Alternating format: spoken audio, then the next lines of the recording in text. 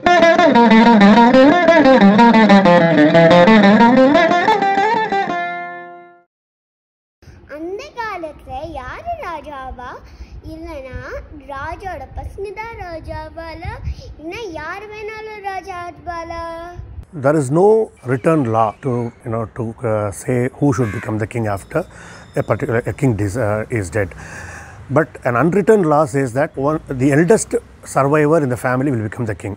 He need not be the son of the king. He could be the king's brother. He could be the brother, sons of uh, king's brothers. So the eldest member of the family used to become the king. That was an unwritten law. There was no you know written law to state that only the king's son or the eldest uh, in the family should become the king after a particular king uh, is dead.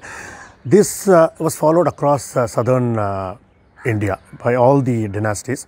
We do not know much about the North Indian dynasties, where if I look at the records, it mostly says the son succeeded the father after his death.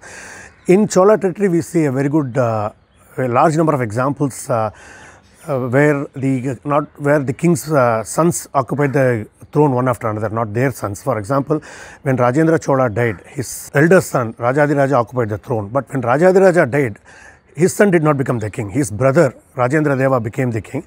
And when Rajendra Deva uh, died, then his brother Veera Rajendra became the king. Common people did not have that uh, opportunity or did not have that right to become the king. Chandragupta Maurya became a common man because uh, his father was kicked out of the kingdom. So he had nowhere to go. So he was just wandering when he was uh, wandering in the forest when he was picked up by uh, Chanakya. And then Chanakya ensured that the Nandas were defeated and Chandragupta Maurya was put on the throne.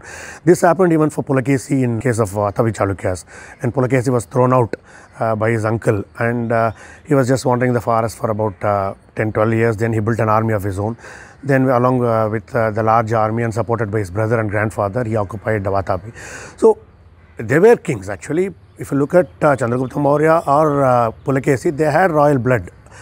Or the only thing was they were not, they were just thrown out of their kingdom and uh, then they managed to snatch the kingdom back from the uh, occupant.